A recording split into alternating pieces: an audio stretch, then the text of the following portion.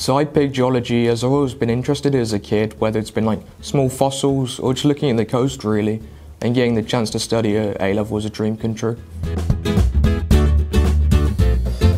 No, not at all. I think the local, the nearest one was an hour away, so it's a really great choice for me. Mm, so it depends. We either do like practical lessons or theory.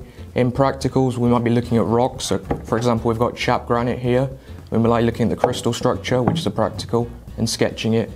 And in theory lessons, it might be discussions about topics, answering questions.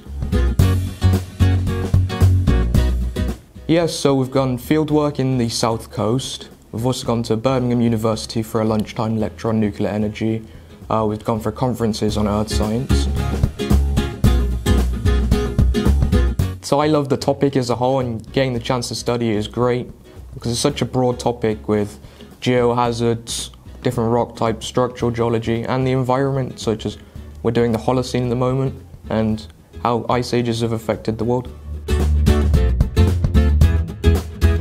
So I plan to do uh, physical geography with geology, and then hopefully that progresses on to a career in hydrogeology or waste management.